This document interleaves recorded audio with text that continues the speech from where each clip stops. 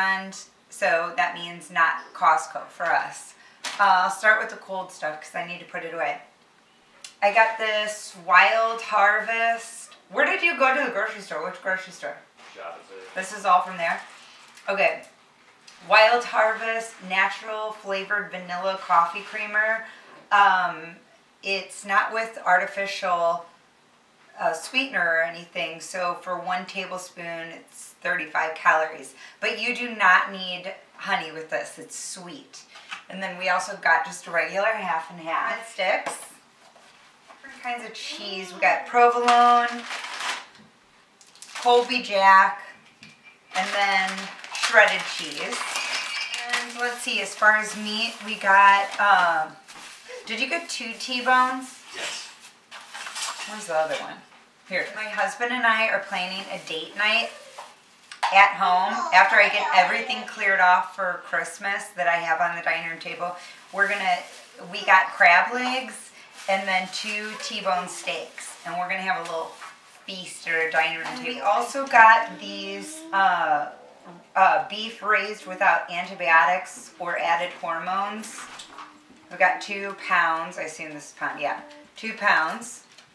So my husband actually went and got all of this, and this is without a meal plan, and I didn't pick any of this out. So what I'm going to do is I'm going to look through everything that we have and come up with some meal plans and put it all together, which, I don't know, that sounds kind of cool. Got a big, how much is in here? This is three pounds of ground turkey. And um, they really like it when I make meatloaf with the ground. Hillshire Farm um, Naturals, the rotisserie seasoned chicken breast, uh, lunch meat. And then they're both rotisserie chicken breast. So how many yogurts? And we go through them. The kids love them for breakfast, for a snack. Uh, sometimes we'll put them in their lunch as like a dessert. Red leaf lettuce uh, with, I think, one pound of that uh, ground beef. We're to make tacos because he got some uh, tortillas. So we got some hearts of romaine because these are really, uh, this romaine lettuce is really good on the tacos. I kind of shred it. So, and to supplement in salads, we like red leaf mixed with romaine as well. And then um, broccoli, which would be good as like a pasta dish or I don't know, a side for like meatloaf maybe that night. I have to make two of these to like feed the family, but they like this queso blanc, these fiber one bars, which is good for like on the go for snacks for the kids, um, Parmesan cheese, and um, a spaghetti squash, which my family really likes. I just mix it with olive oil and Parmesan cheese and some spices and they, they really like White cheddar popcorn. The kids love this. And it's also a good snack to bring for on the go. Fruit, we've got pears. Um, we have bananas. We always have bananas. Uh, some of these navel oranges.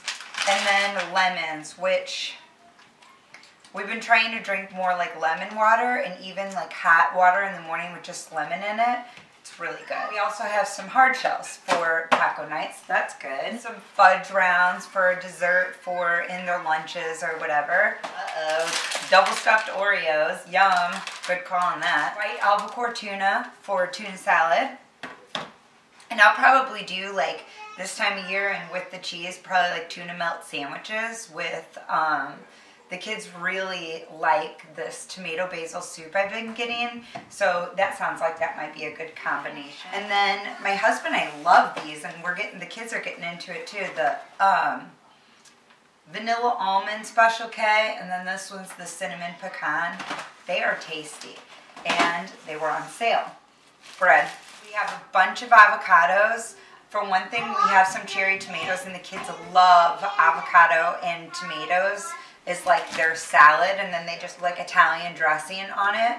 So, and he makes shakes in the morning, even chocolate shakes, and adds avocados. You can't even taste it, and it's delicious. It makes such a creamy texture, for one thing. I, we noticed that it changes the texture. Of sweet potatoes, which my husband and I love sweet potatoes. Um, baked, or you can make a mash, but we usually just bake them.